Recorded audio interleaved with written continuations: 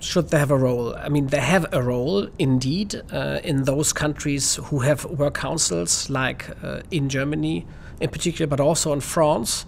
And um, I know the question is coming from that direction because uh, work councils often are regarded as a blockade to implement data protection or tools uh, with data protection relevance.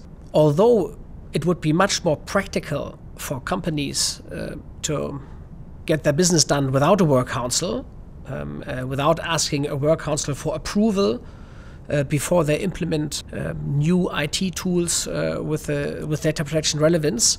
But I think in the end, they should have a role. Uh, they should have a role because um, if you want to transfer data, uh, cross border in particular, for example, to a headquarter uh, which is not located in your own country, you need a justification for that transfer of data. And a justification wouldn't be, well, it's good for the company because we don't have a group company privilege. So all the different entities of a large company will be regarded as separate entities.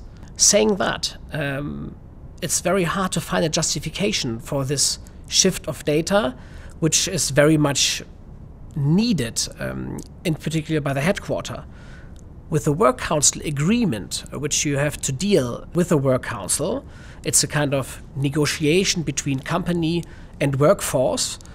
This work council agreement will act as such a justification, allowing this uh, data use and data transport. And therefore, I think, in principle, it's a very good tool. But um, of course, work council agreements and negotiations with work council uh, should be done um, in a legal environment which are which I will say is pragmatic and not exaggerating the powers of the work council. It's interesting to see how much of a role some works councils across mainland European countries have when it comes to data protection issues. On one hand, I can see that works councils have a role in terms of looking after the interests of the workers, interest of employees within within those organizations.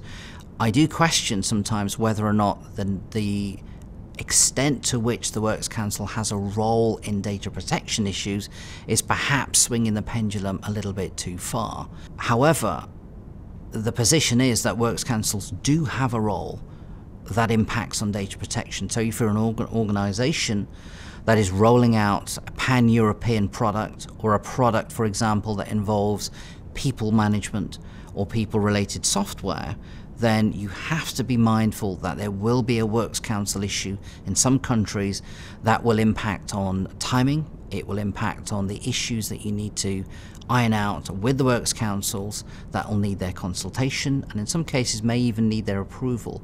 And that's a necessary part of clearing the data protection hurdles in some countries across mainland Europe.